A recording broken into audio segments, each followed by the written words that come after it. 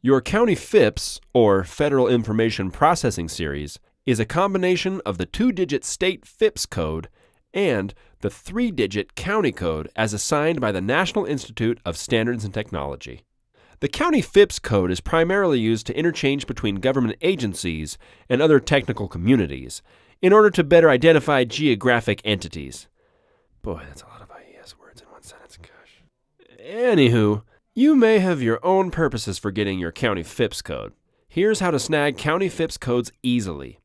Go to smarty.com or click the link in the description. At the top, hover over Resources and then under Demos, select Single Address Verification. Behold, the very easy to use single address validation tool. Under Lookup Type, specify if you're going to use components, address, city, state, and zip code, or freeform. For this example, I'm going full on freeform, baby. Start entering the address and check it out.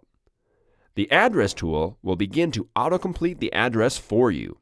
You don't even have to type the whole thing if you don't want to. When you see what you're looking for, just select it. After you select View Results, you can scroll down to the metadata section.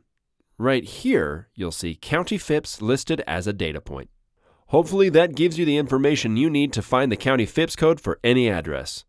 If you have any further questions, please feel free to leave it in the comments section below. We'll catch you on the FIPS side.